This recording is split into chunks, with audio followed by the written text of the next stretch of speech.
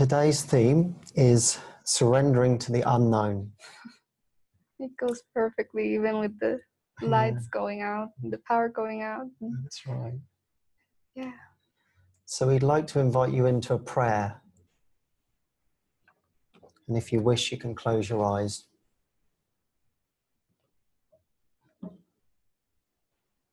Today, I let Christ's vision look upon all things for me and judge them not, but give each one a miracle of love instead.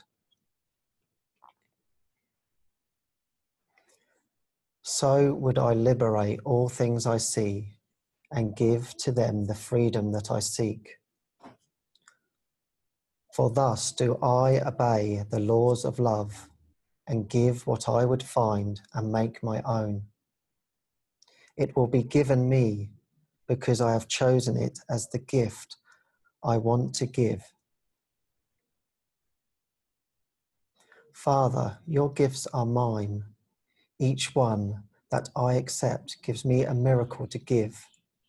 And giving as I would receive, I learn your healing miracles belong to me. Our Father knows our needs. He gives us grace to meet them all. And so we trust in Him to send us miracles, to bless the world, and heal our minds as we return to Him.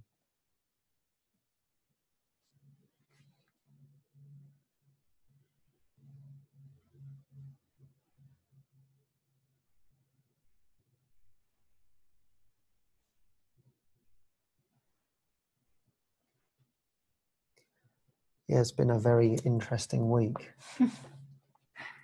Yeah, it's like always at the beginning of the week, we already have um topic in mind for the show. And it's like the prayer begins, and throughout the week, it's like everything just starts showing up, supporting that show. And yeah, it's been the way that's always been Mm. for us. but not this week.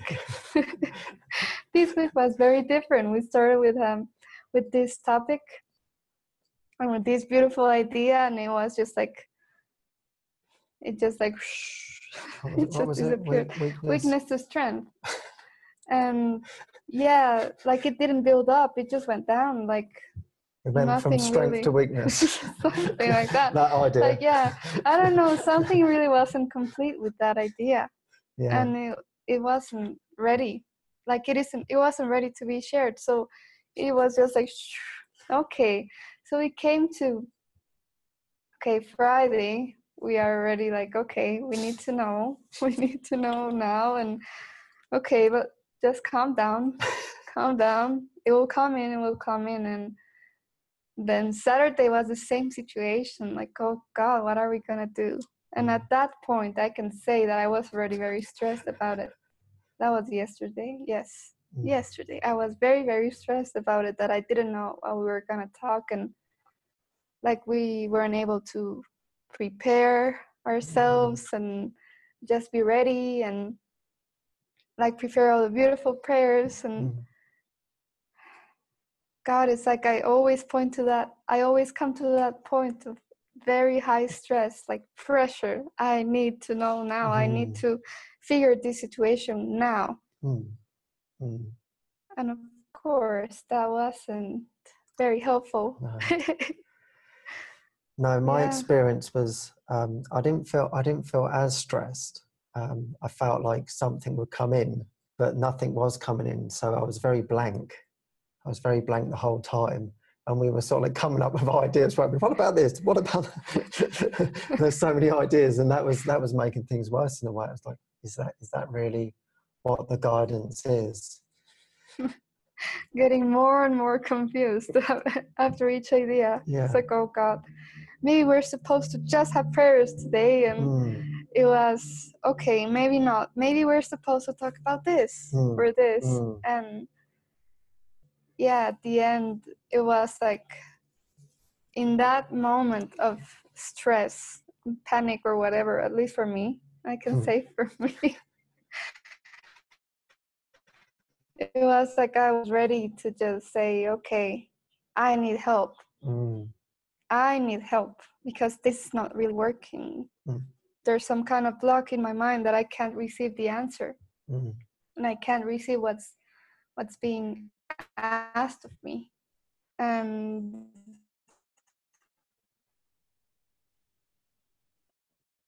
okay, so that was like the point where we had to ask for help, Yeah. and we were like putting it off and just wait. Yeah, I think maybe this will work, and yeah, it was okay. We really need to ask for help for now, Mm. and I think that was the point that just switched everything around. At that point, we said, okay, we really need to join with someone. Mm. At that point, it was a person that will be more clear than us. Like when our mind is just like crazy, we really need to join with someone that it's gonna be like stable or really knows what will be helpful in that moment. And our given link was Kristen. And so that was like, okay, we really need to connect with her and just like ground all these ideas, like ground our minds again to stabilize our minds so that we could receive what was coming for the show. And when we spoke with her, it was really, really beautiful. She was so peaceful. And she just said, okay, if you take the time aspect out of it, if you forget that it's tomorrow, what do you feel to talk about? What's in your heart? And we started exploring this. Yeah, maybe it is talking about the unknown. Maybe it is maybe it is talking about this surrendering into the unknown and that title came in. Mm. like from all this pressure, anxiety to just a surrendering to that peace and trust. And yeah, like it just becomes like a thing that you're doing out of I need to do something out of obligation. And it was like the inspiration got lost there because I was so focused on the on the time and so focused on what being asked of me that like the inspiration just dropped and she was just helping us like remember why are you doing this really? What's your inspiration behind it? What do you want to listen what do you want to say to yourself? What is it that you need to hear right now? And i could see for myself like with all this planning and all this stress it's like i'm not open. It's just like i'm closed to all the possibilities that are being offered. Like my mind just shuts down. Like like all these stress ideas or whatever is just a defense that's being built up. And i guess this show might be just surrendering all these defenses. Yeah, I think I noticed um, this week I felt anxious quite a lot of the time Mm. in doing, and that was that was the fueling of being this doer and being really identified with the self identity. And I was praying on that. What what what what is this? It seems like this is I've suffered like this a long time. I can get things done, but in suffering, Mm. surely there has to be another way but there's never been there's never been another way. Um and so this theme like coming in of like unknown yeah maybe it is that i don't know. And it was like that fear that i must know. Surely you have to know what you're doing. Um i have to know this this control yeah really controlling. So behind that is like so much fear. If I don't know what I'm supposed to be doing, then then then what happens? but that's the point. Yeah, that that's the, the, point. the precious point. Mm. because when you get to that point okay maybe i don't know. I don't know. I have no idea. Clearly i'm not in control. Mm, it's like at that point you really come in your knees. Mm, and you say okay i i don't have a clue of what's Mm. going on Mm. i don't know how to go through this situation mm, without in things from the past. Mm. I don't know forward right now. Mm. It's like a point of reset. Like, Mm. okay, what do you need to do now? It's just like being in that surrender, Mm. having that prayer. Help me, help me through this. Yeah, I think that's what it was. It was like being on the brink of surrender. It was Mm. like, I want to surrender, but I don't know how to surrender Mm, to this. And the pattern seems to be continuously playing. So how do I, how do I really, really surrender? mm, And I think through the show that actually helped to say, okay, I, I really, I really don't know. mm. I think you had similar experiences this week of, of the, the trying to know but not knowing. Mm. Yeah. Yeah, I could see that. It's what you were saying, like all this control. I Mm. need to have this in order. I need to have this organized and I need to have this like perfect. Mm. And that just feels like such a horrible thing. Mm. But even yesterday, it was like all that control coming up, all that pressure.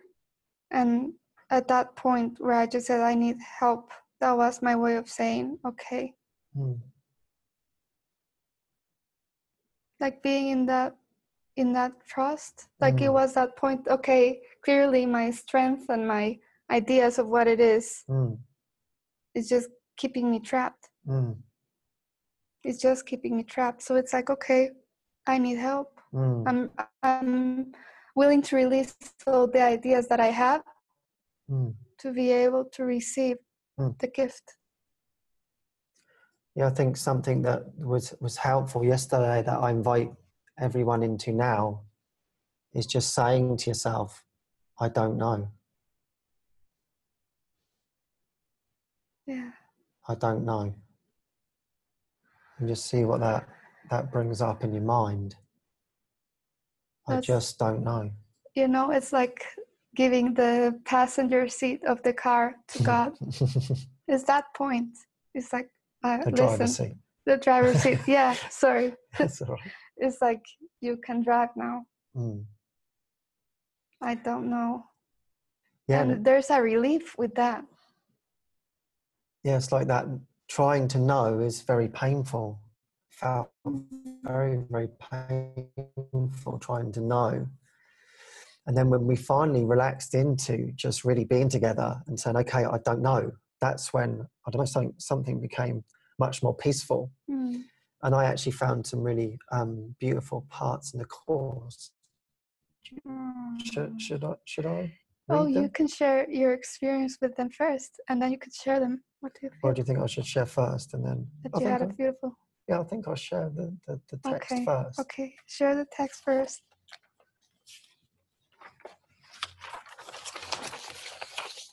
So this is in a section, chapter 14, the test of truth. So this is a good line to start off with. Your learning gives the present no meaning at all. Nothing you have ever learned can help you understand the present or teach you how to undo the past. Your past is what you have taught yourself. Let it all go. Do not attempt to understand any event or anything or anyone in its light, for the darkness in which you try to see can only obscure. Put no confidence at all in darkness to illuminate your understanding. For if you do, you contradict the light and thereby think you see the darkness. Yet darkness cannot be seen, for it is nothing more than a contradiction in which seeing becomes impossible. So that's kind of what, what was happening to us, really, wasn't it? We were yeah we were in the we were looking for the truth in the darkness and it was like hey step into the unknown with me and it was like, oh, oh no, we must know. Give me your trust. Yeah, give me your trust. You can trust. I have this. And yet, as he as he teaches, we must let everything go that we know. Mm. And it was kind of like this first time he talks about this so much in in the book. It's like the Zen teachings of Jesus. it's kind of cool, really.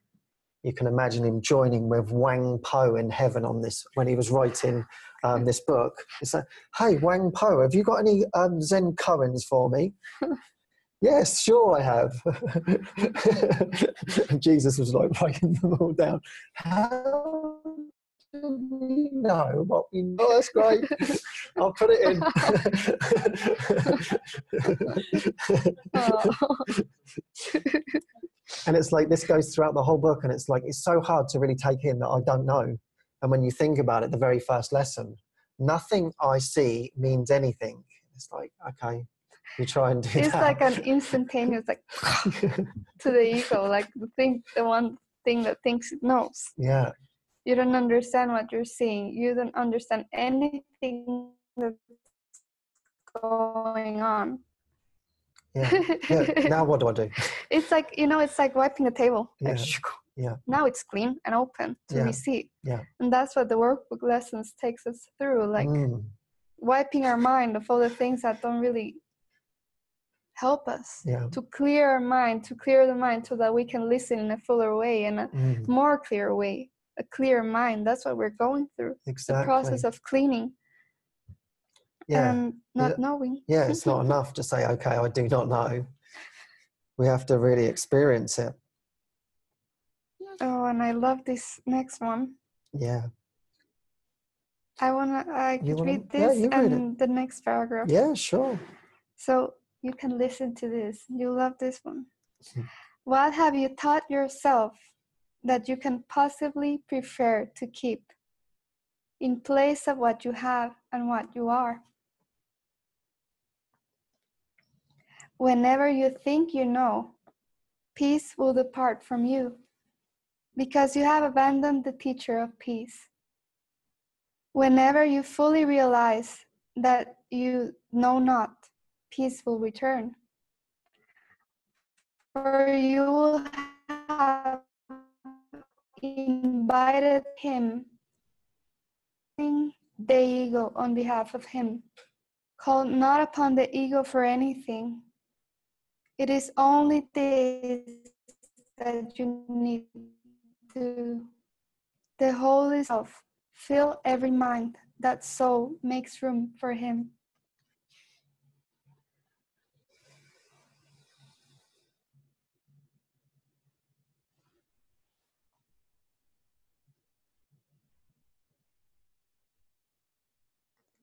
Yes in this trying to know of not giving this space and it seems Mm. like if i don't know then that's going to bring up more fear but yet in not knowing is actually opening up the space for something Mm. wonderful to come through Yeah. but it seems so counterintuitive to believe that i don't know Yeah. It's beautiful. Like, wow, I can just feel this so powerful for me right now. It's like making room for him to come. Releasing all these ideas. Mm, It's, it's the opening that we were talking about. Like, really, the surrendering part of it. mm. yeah i think and i can share, share my part in in actually reading this um, last night as i was sat there emotion was was coming up. I can still feel it in the background. And it was just saying yeah i i, I really don't know. I don't know what this what what i'm doing. And there was something um it was like a relief. It was like a relief that i didn't have to to know Mm. um, any longer. And that that was the very thing that was stopping me from being me. And there was, yeah, just I wanted I wanted to cry, but I couldn't quite get in touch with it. It was like it was like pulling me into the surrender, and it was like I could just experience, wow, there's something really beautiful in this in in this not knowing, and that the pain has been in trying to know this is ve- Mm. very i've been fearful all of my life i could sort of like feel that like wow this has just been so fearful Mm, of this letting go mm, but not knowing what the letting go was. And something yeah something peaceful was behind that. So it's like i'm still feeling like i'm in this sort of like this shake of this unknown then maybe it is something really really really wonderful mm, to to surrender to. So i'm kind of grateful for this. Mm.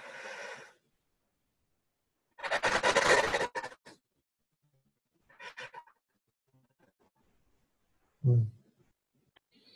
Yeah, it's beautiful what you were sharing. It's, it reminds me of that little part that we had here.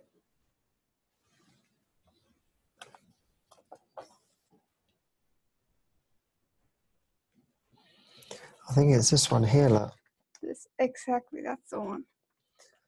I can read it. Yeah. Yeah. Do not be concerned. This is still from chapter 14.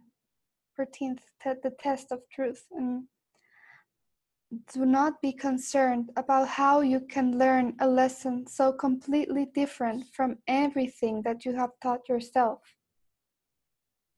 How would you know? Your part is very simple. You need only recognize that everything you learn you do not want. Ask to be taught, and do not use your experiences to confirm what you have learned. When your peace is threatened or disturbed in any way, say to yourself, I do not know what anything, including this, means. And so I do not know how to respond to it. And I will not use my past learning as the light as the light to guide me now.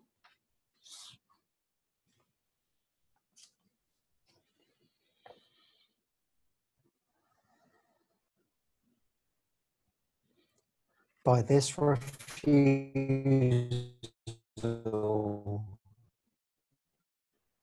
to attempt what you do not know, the guide in whom God has given you will speak to you.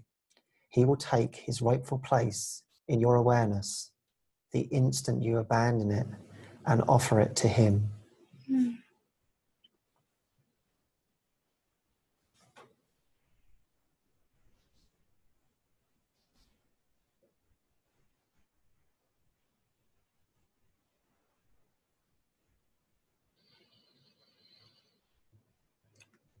I'm, I'm feeling we just go into the prayer and just have some silent time. Would you like to do that? Yes. Yes. It's like this beautiful piece. it just came right now.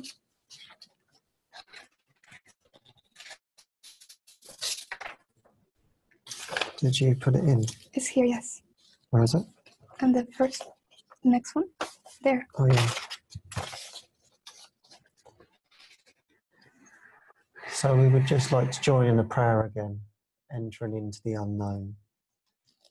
So just if you feel comfortable, you can close your eyes and go within.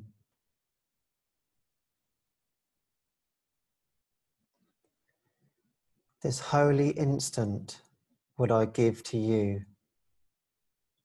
Be you in charge, for I would follow you certain that your direction gives me peace.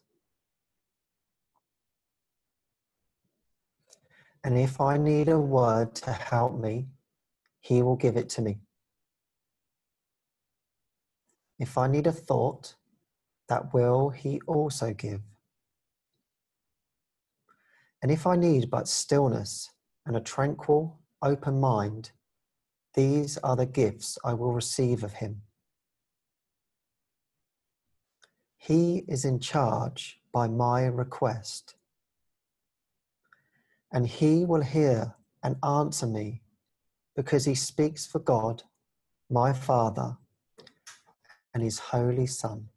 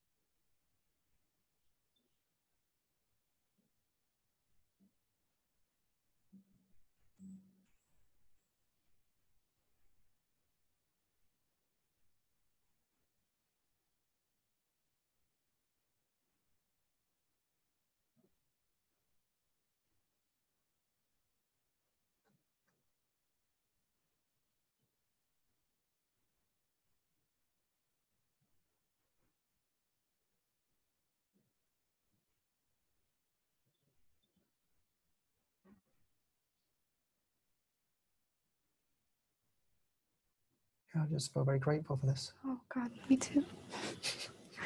now it's so peaceful. Mm. Like something just dropped. Mm. Like you can trust. Can you Mm. see? Mm. You can trust. Mm. I'm doing this through you, for you. Mm. Yeah, I felt that peace just coming over me now, which is a relief. Just Mm. that you can begin to trust this, I don't know. It was actually really beautiful when I done the talk with David, the non-duality talk, and he said it really stuck out in my mind at the time. I was just like blown away by what was happening. Really, I couldn't really take it in. And he said the only thing that we can know is that we don't know. That's the best that we can know. And I thought that's really great. that's a really good statement. and it's like, yeah, that that feels like my prayer now.